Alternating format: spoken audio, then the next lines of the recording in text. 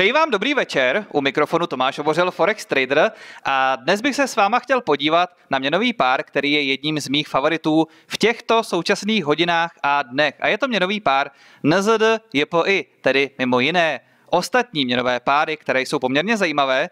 Pravda je, že když se dva hádají, tak třetí vyhrává a v tuto chvíli se mi zdá, že hlavní měnové páry, jako je eurodolar, GBP USD a tak podobně, se tak nějak točí, hádají a nemůžou se dohodnout o směru a přitom je tady ten třetí, kterým je mimochodem třeba měnový pár na ZDJPI, který vypadá docela dobře a já bych vám chtěl přiblížit, proč se mi tento měnový pár tolik líbí právě teď.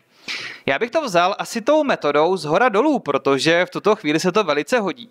A pojďme teda začít na timeframeu typu MN, neboli monthly, neboli měsíční timeframe tak toto nevypadá vůbec dobře, ale na měsíčním si budeme muset tuto chvíli trošičku takzvaně odzumovat. V mé platformě to jde až takto, takže se nám bude hodit například tento zoom. Hodil by se nám i tento, a tady je to trošku lépe vidět a pojďme pomalu kreslit. Co je na měsíčním timeframeu tak zajímavé? No, když se podíváte zleva, doprostřed a doprava, tak eh, určitě musíte reflektovat, co se tady dělo. Takže například v roce 2002 se dělo tohle.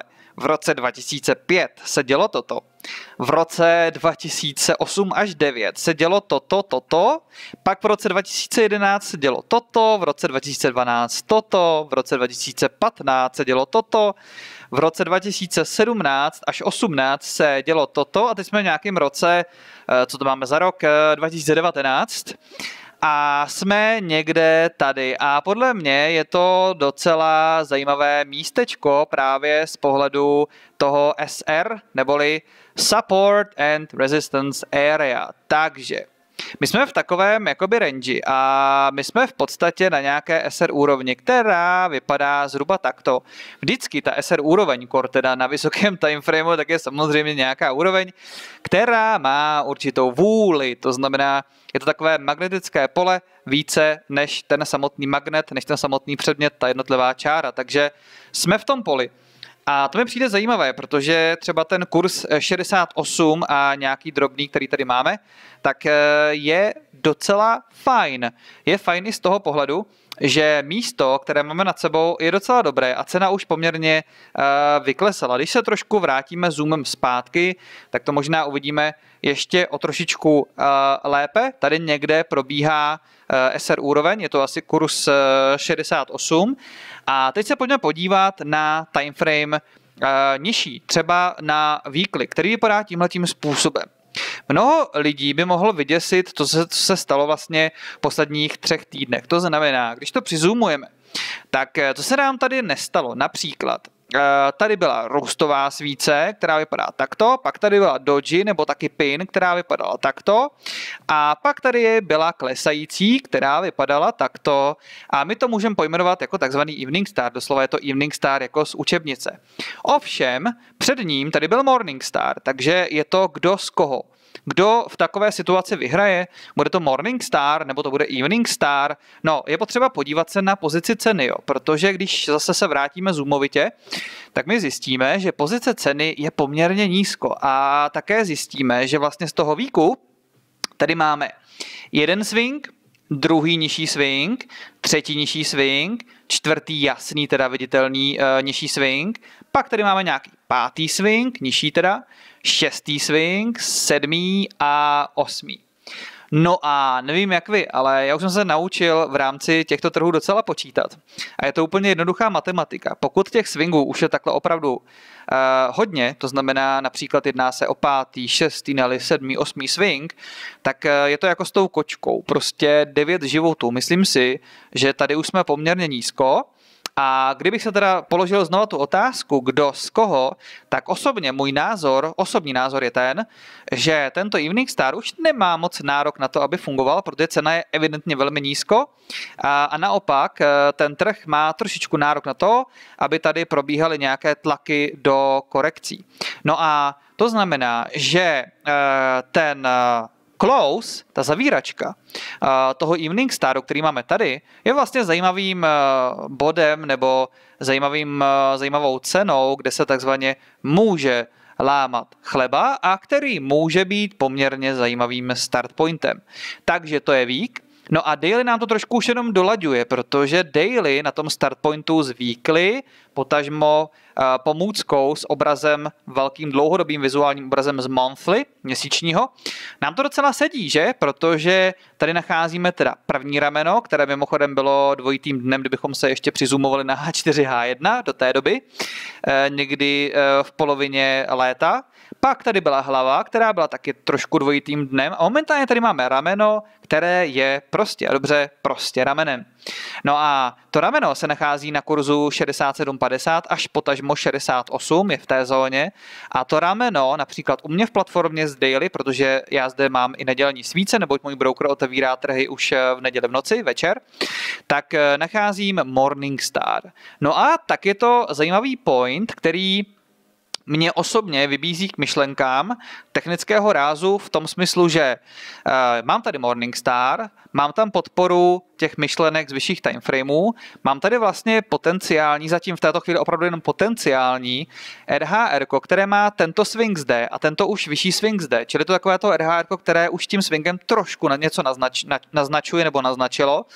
A mé očekávání tedy z toho dlouhodobého pohledu, tedy o směru, je směrem výše. Když se podívám na H4, tak uh, co tady můžu vypozorovat, je v podstatě nějaké kanálové dění, které už teda nakreslím spíše platformově, protože to se bude hodit uh, lépe to upřesnit. Tady je horní stěna, tady, tady je dolní stěna, kde tady vlastně probíhalo nějaké kanálové dění, které mimochodem na H1, pojďme tam rovnou, vygenerovalo u té dolní stěny včera dvojité dno, které bylo podpořené MACD divergencí, tady vlastně nám takhle krásně vysela takto a takto divergence, tam to vlastně celé odstartovalo. A dneska to pokračuje dál. A takže máme všechny ty ingredience z vyšších timeframeů tak nějak jakoby v hrsti a na samotné H1 díky H4, kdy jsme si mohli nakreslit tento kanál, vidíme, jsme jakoby na druhé stěně nebo na, na druhé straně uh, toho kanálu. No a Celé to začalo klasickou divergencí a celé to pokračuje, hádejte čím? No, můžeme spojit tyto dva body, ten to tady jakoby hodně vyčnívá, teď vlastně tady hákuje, e, s těmito body. To znamená, máme tady skrytou trendovou divergenci na docela dobrém místě a celé to poměrně e, dobře vypadá. Takže z mého pohledu je aktuální NZDJPI, nemyslím zrovna teď, ale aktuální ve smyslu v posledních dnech, posledních hodinách, posledním období, docela zajímavé a od zhora až dolů dává docela dobrý smysl.